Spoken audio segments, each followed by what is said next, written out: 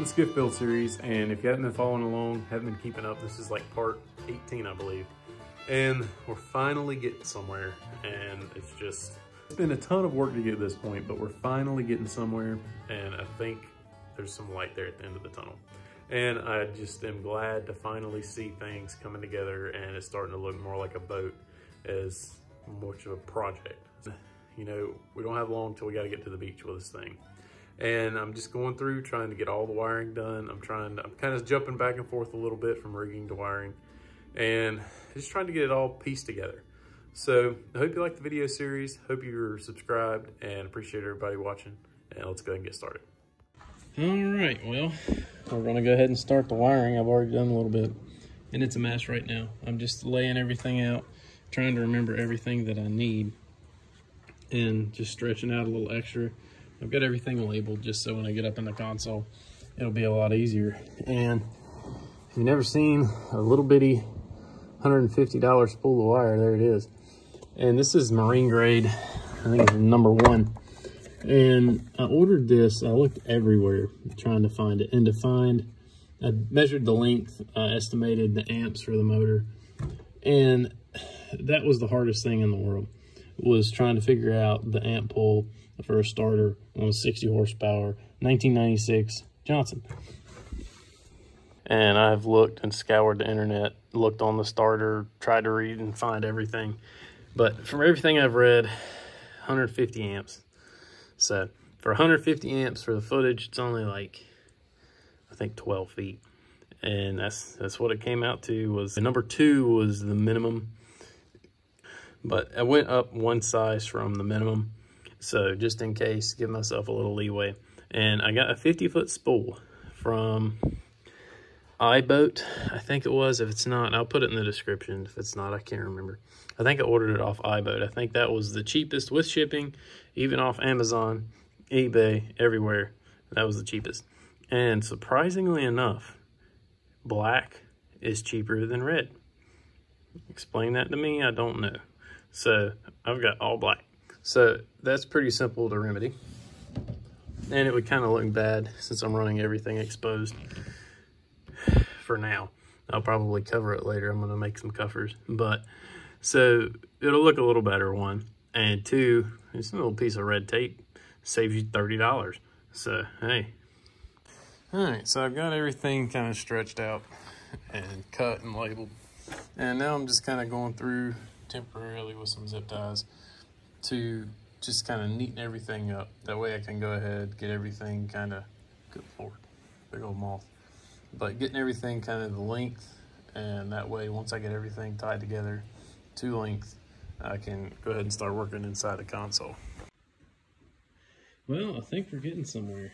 Got everything stretched out, kind of neatened up, just kind of temporarily. I'm still debating on how I would like to you know, strap this up permanently and make it look a little bit better. I had plans on molding some covers to go over it just from like here to here. Just kind of like almost like wire mold, but out of fiberglass and gel coated kind of to match and look nice. I ain't got time. So I'm gonna just do some form of pretty much strapping this up exposed at the moment. And then later down the road when I've got a little more time and I'll probably mold out. Just take maybe two, two by four and a sheet of plywood, screw them together, cover them with plastic, and that would probably be enough area to cover it and it'd be something simple and easy to do. And I'm having to cheat a little bit. I wanted to bring it in and 90 it, but because of my control, the control cables and the wiring for the uh, gauges, uh, I need maybe at a later point I'll do it. But I'm also stretching out my uh, wire, my big wire for my motor. And it's also, I'm using the same wire to go up here for the trolling motor because it was just about as cheap. It was just, I think it was like $20 more to get the same spool and have enough of one aught to do both because the trolling motor pulls 56 amps, which I think a number four will cover. But I'm already getting the whole big spool of it, $20 more. I'd rather have the big wire. So that way if I ever upgrade to a bigger trolling motor, that one burns up or something down the road, then I'm covered. Well, I got these little lights off Amazon, and I've got some kind of similar, they're square, on our golf cart. And them things are brighter than my truck lights. And these things weren't very expensive and had really good reviews. So I'm gonna give them a try. I don't know how, as far as the angle, how it'll do. I may have to shim the top or something because there's not really, there's no adjustment. So we'll have to play with that, but I hope these things will work good and it'll be nice to have. Hmm. They look a little goofy, I'm not gonna lie, but I like it. Well, I'm making my uh, gauge piece for my uh, console, and I've got it marked out, and I'm hoping it's gonna be right. I've got to drill three holes, two and an eighth, and I think I've got everything measured out evenly. So I'm gonna go ahead and get that done see what it looks like. Well, I think that's gonna look pretty dang good. Well, I just got all the gauges wired in. This has been about a hour long process, but I'm gonna try and hope and pray everything fits in here. The connector there is kind of tight. Should maybe angled it a little differently, but yeah. Heck yeah, that looks good. Yeah, that is awesome. It's kind of a tight fit. Uh, accounted for the gauges, the width of the gauges, but I did not really account when I cut the hole. This engine gauge has got a great big bracket on the back. But I get that thing screwed down after a while. It's gonna look good. Well, one thing that always drove me insane was charging batteries. And I always used, I had two battery chargers and I would always, you know, hook two battery chargers on there because I had two 12 volt batteries, 12 volt trolling motor. Well, this one's going to have a series of two for 24 volts for the trolling motor, and then the motor battery, main motor battery. And from everything I've read, this is really confusing to me because 24 volts, you'd think you'd need a 24 volt charger, but you just hook each one to an independent battery and then just wire them in series. And then you just put this on the side, plug it in, and your batteries will charge. So that's going to be something that is going to be really awesome for me. So I'm excited about this. So we're going to go ahead and get all this put in. Well, if you didn't catch it, I don't know. I'm trying to figure out how I'm going to put all these videos together. It's going to be interesting to say the least. But if you didn't see it, whenever I built this console, before I gel coated it, I took and drilled, tried to drill all my holes for my rod holders and everything, and my little plug here included, and coated them all with epoxy. So that way it's completely sealed. And hopefully this console will last a long time. So hope I didn't actually check it. All I did was read the directions for the hole size and I'm hoping that it'll fit. And hot dang, that's awesome it does.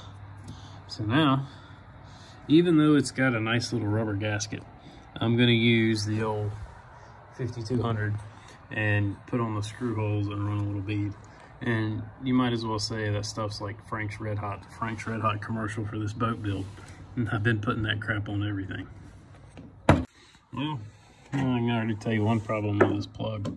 I got the screws, they're self-tapping screws, and that's magnetic chuck. So, therefore, that ain't gonna work.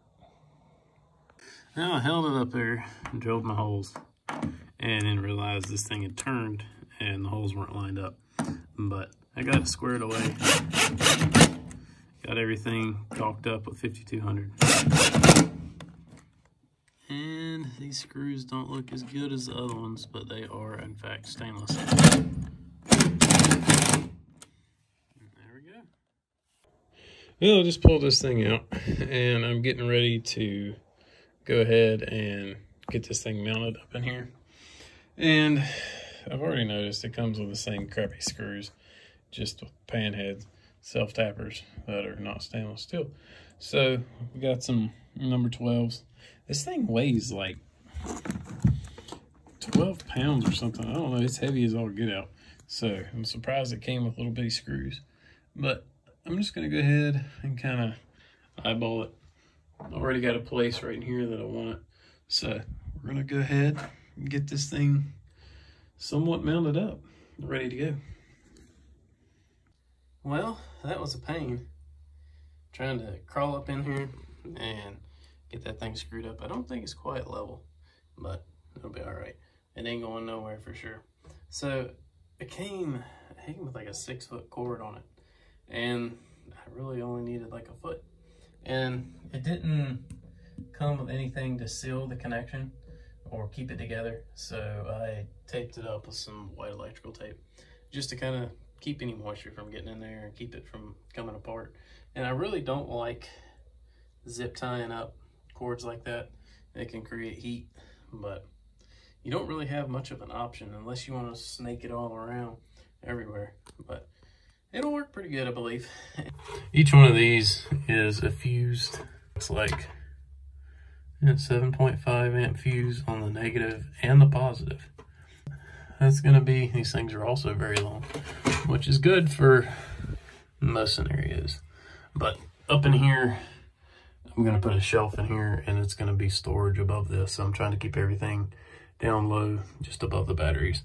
And I've still got to make up all my cables for my battery cables. And once I do that, I'll go ahead and hook these things up and get the batteries in here and get them on charge. So that's gonna be pretty neat. But actually, I've already got one in here. Eh, I'll do it later.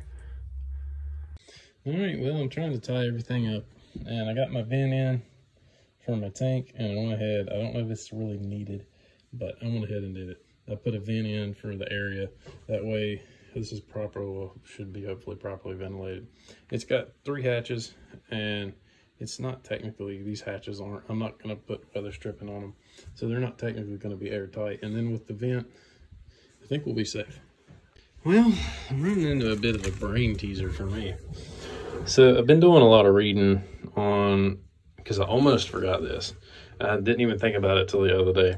And I've got to ground everything in here. I've got to ground my fill and the the diagram from Moeller is I don't even know, but you're supposed to be grounded with I think a number ten or twelve to the battery, the negative on the battery. I've still got to figure out how I'm going to attach a wire to my vent for my tank, and I'm almost considering putting the wire under that nut. But I've got a clamp as well, but the clamp I'm gonna have to change the bolts on it. It's not stainless. So for the fill, what I did was just use a bolt. I used two screws and then a bolt on one side. And I can just put a little terminal on there and put a nut on it. And then there's my ground for that. But as far as grounding the tank to the sending unit, I don't know. I'm gonna have to look it up again. Well, I think I've got everything done in here. I'm not going over it. I don't even know if I've got the ground right. I think I do.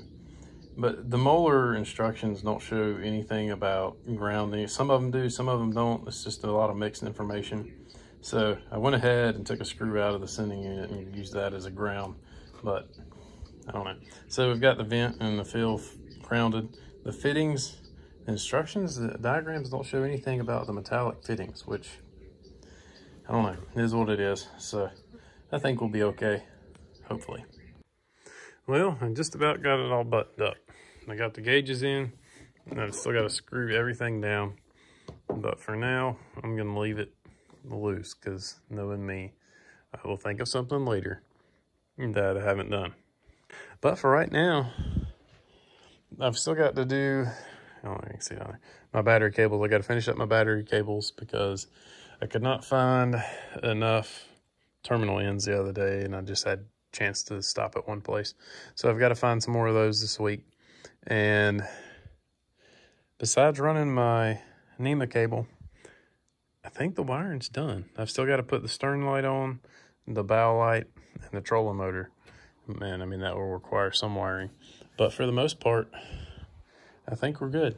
There's just an immortal mess in the boat. And I mean, it's ridiculous. But I've been going like crazy trying to get this done. Like 3 in the morning the last week. Every night the last week.